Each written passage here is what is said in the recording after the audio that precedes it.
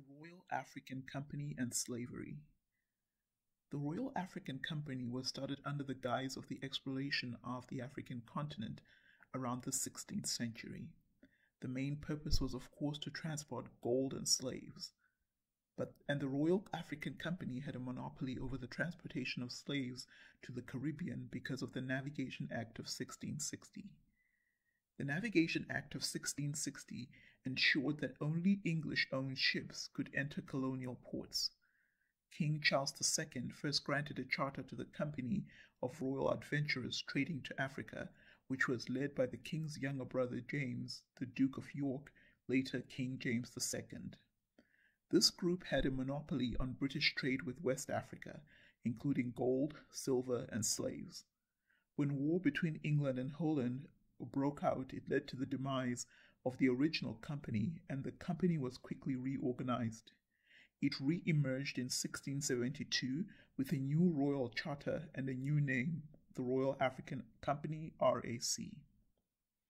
Between 1680 and 1686, the company transported an average of 5,000 slaves a year, and between 1680 and 1688, it sponsored 249 voyages to Africa.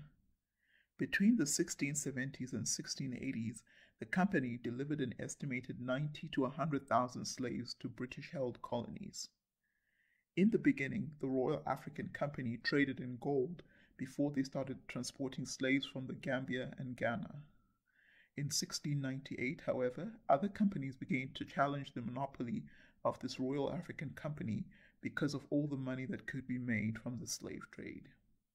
The RAC effectively lost its monopoly in 1689 after the mm-hmm. Glorious Revolution toppled King James II in favor of William and Mary.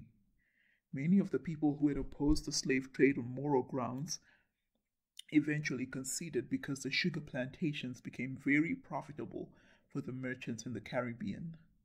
The RAC continued to engage in slave trade until 1731 when it switched to trafficking in gold dust and ivory.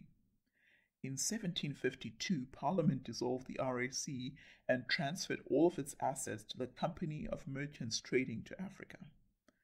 When the market for human trafficking and slavery was opened up to other British corporations in 1698, over 20,000 Africans were transported to the Caribbean and to North America.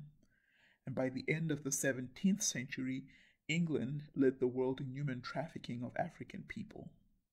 The royal family enjoyed many of the benefits of slave trade, which eventually paved the way for the colonization of Africa.